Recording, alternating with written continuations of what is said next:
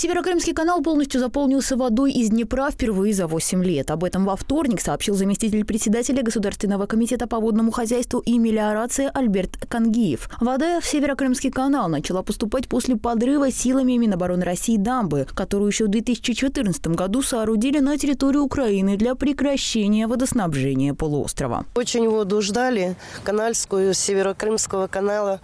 Наконец-то ее нам подали, вернули. Вот, очень ждали. Будем теперь огороды поливать.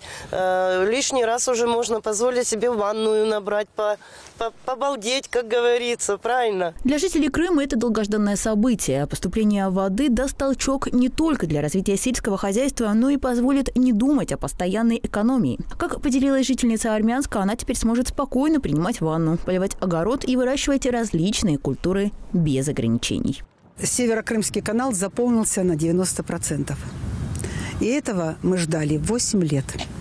Мы помним то время, когда 40-градусную жару вдруг не стало воды в канале.